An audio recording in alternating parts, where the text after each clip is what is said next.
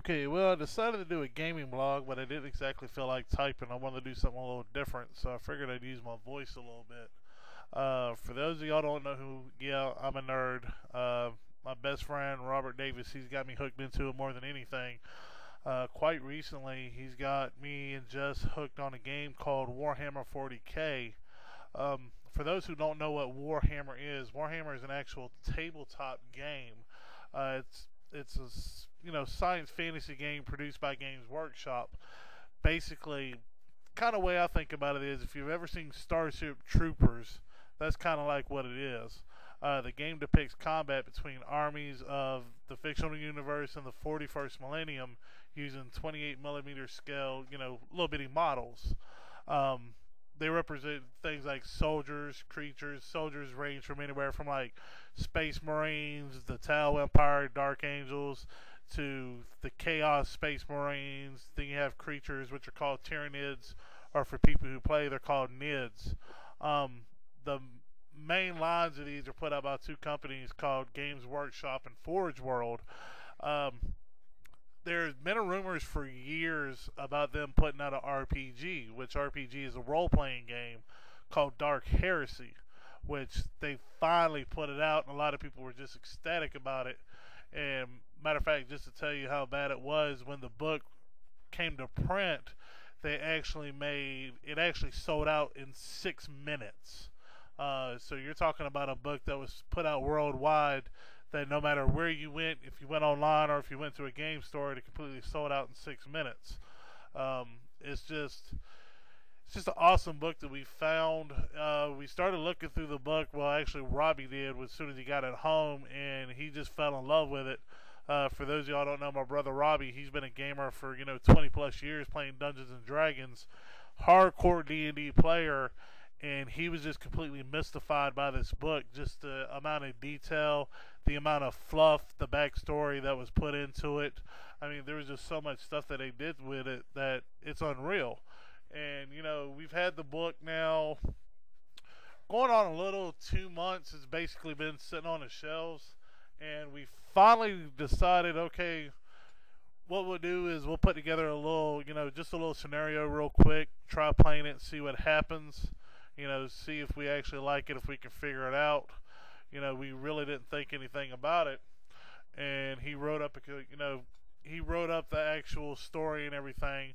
Which those who don't know what an RPG is, exa- RPG is where you get a group of people together. You have one main person called the game master. The game master actually, you know, writes the story. He controls the NPCs, which are non-playable characters. They can be anything from shop merchants, kings. Uh, they're always the bad guys controlled by the game master.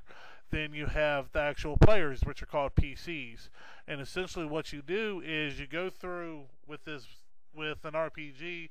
You pick out one, what race you want to be, and then two, you pick out what class you're going to be. And essentially, you make up your own character. I mean, you actually you do everything for it. You make up hair color, eye color, if he's got scars.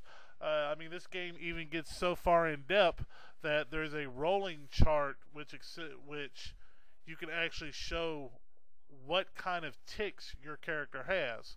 Like when I rolled against it for mine, mine actually has tribal tattoos all over his body. But you can have it where his ear twitches, or his eye twitches, or he walks with a gait in his left leg. So I mean, there's just so much that you can do with an RPG that it's really unreal. And you know, we got into the book, and when we started reading this book, it really looked complicated because we were we were sitting there trying to compare it to Dungeons and Dragons, and you really can't do that because it is just so much immensely different from the Dungeons and Dragons D20 system, whereas this is a D10 system. So you know, he sat down, wrote up a little adventure, and we said, okay, let's try it. Let's see what happens. So this is what took place. Okay, just to give you a little introduction, the character that I'm playing is from the Feral world. He's an assassin. He his name's Havelock. Uh, he's of course male, muscular build. He stands 1.85 meters, weighs roughly about 85 kilograms. Um, he has brown hair, yellow eyes. He's roughly about age 23. Um, now, when I say age 23, you got to realize this is in the 41st millennium. So in the 41st millennium, they age different. Even though he's 23 years old, he's actually about 230 years old. So uh, that's just a little background information on the character I'm playing. Uh, I'm going to read you a little bit of what the intro that Robbie wrote for the actual adventure that we played, and uh, this is actually how he started it off for our very first time. A vague memory comes to you, a scene when your life changed forever. It was a long time ago, 60 years to be exact. The night air was crisp and cool. You found yourself in the burned out window of the bell tower. Through the infrared scope on your sniper rifle, you saw your target. A balding fat man was his name. Well, his name was unimportant. All that mattered was that you had been called called by the Inquisition of the Holy Lords of Terra, called because your skills would now be put to use. This man was found by those who travel the void in black ships to be a conspirator with dark forces, and tonight your faith would be measured. Whatever his deception was, tonight it ended. Two days later, you stood before your new master, Hiram Malstorm, assistant assassin Palatine, a high ranking member of the retinue to Inquisitor Blaylock. He stands before you, a tar dark cloaked figure with his hood pulled up high on his head. Inscribed on the lining of his cloaks are symbols of the Order Malus. He speaks softly to you. Greetings, young Acolyte. Your test has been fulfilled. You are now and forever will be in the service of the Emperor of mankind. One day you will be called into service. Until that day arrives, continue with your training. When I come for you, be ready. Those two words seem to haunt your very soul as you stand in the shadows of the mighty spires of Hive Tarsus, one of the greatest hive cities in Scintilla. Steam rises from the grating of the landing pad, and the suns have almost set. A mellow purple green hue touches the outer rims of the landing pad as thrusters from the Aquila landing craft lower it to the deck. After a few minutes, there is a sharp hiss of compressed air as the ramp to the Aquila descends. Steam seems to roll down the ramp from inside the craft, and it dances in the pinkish, throbbing light from within. Then suddenly the steam is whisked to the sides as a large figure moves down the ramp. He wears a wide brim hat pulled low and an overcoat laced in symbols of the Inquisition. The rest of his garb is a blackish blue leather with many straps and pouches.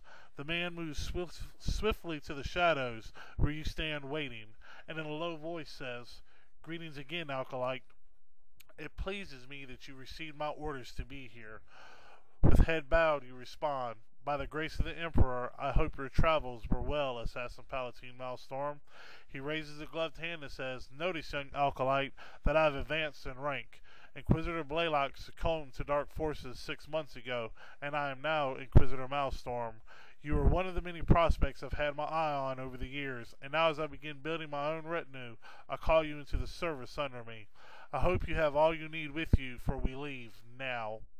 We travel to Baraspine, a small Emperor hive world in the Adrad Adratus Nebula. I have contacts there that say a cult of the Dark Gods is corrupting high members of the local government. We are charged with investigating this evil and bringing it to light. He waves you past him up the ramp. Suddenly, you feel a sharp prick on the back of your neck, and everything goes black.